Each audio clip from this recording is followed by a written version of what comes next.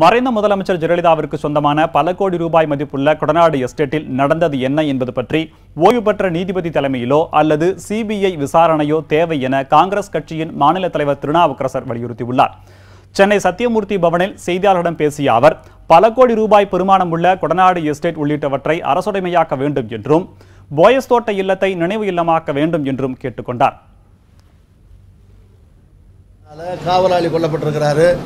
பிறகு யார் கா தேடுற போது இன்றைக்கு செய்திகள் ரெண்டு மூணு பேர் விபத்தில் இறந்து போயிட்டதாக சொல்லப்படுகிறது. இது குறித்தெல்லாம் அது அங்கே என்ன டாக்குமெண்ட்ஸ் எடுக்கிறதுக்கா டாக்குமெண்ட்ஸா வேறு என்ன அங்கே வேல்யூபிள் அசட்ஸ் ஏதாவது இருந்ததா? இதெல்லாம் அங்கே எடுத்துகிட்டு போகிறதுக்காக பூட்டை உடைச்சி ஏதாவது கொள்ளை முயற்சி நடந்ததா?